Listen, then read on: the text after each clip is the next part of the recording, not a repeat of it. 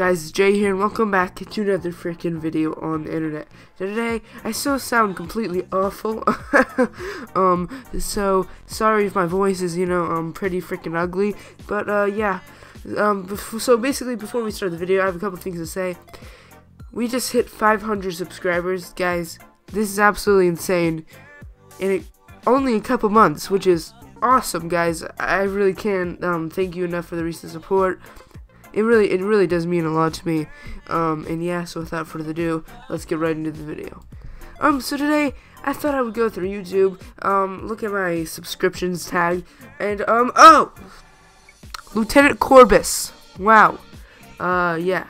So I clicked on a news video and it's like oh that would be a great idea to just completely completely freaking copy her. So that's what I'm gonna do in this video so what she talked about in her video is this um, YouTube channel named Sceneable has about 31,000 subscribers, um, which seriously, how in the world does this channel have 31,000 subscribers?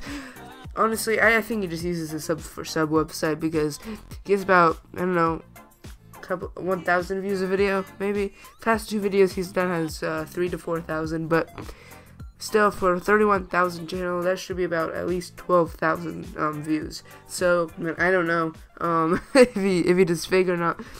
But I thought we would look at his um, most popular video. So yeah, let's get to it. So the video I'm going to be watching is called "Need Communism," and oh my god, I'm excited, man. I, I'm I'm really pumped right now. So so let's let's just watch it.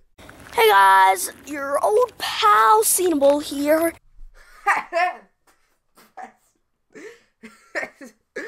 Sorry, just continue the video. and I want to make a video about why, to this day, after the time in history when when it was founded, we still need communism.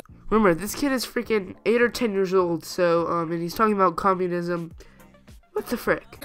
Uh, now, for any of you who don't know, communism is the idea of a nation sharing the wealth.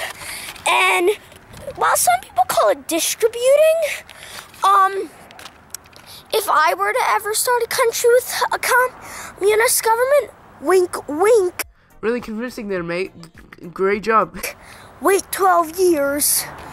Um, I'd probably make it like have these company like these buildings which you can put in money for other people to have. Well, um, those are called banks. I don't know if you've ever heard of them.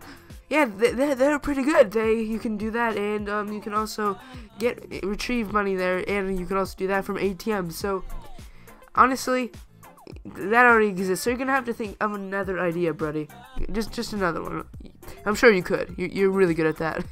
You know, kind of a share share. Now I know not all communist states are like this. But still, distributing is just as fine as sharing it. Well, I'm not explaining why we need communism, I'm just giving the difference between distributing. Because they technically are, because hey, a parent could make their child share a toy or something. Well, you got some real creepy parents there, mate. anyway, now on to why we actually need communism like actually need it's cold out here. Then just go inside. Jesus Christ. um, I have two reasons.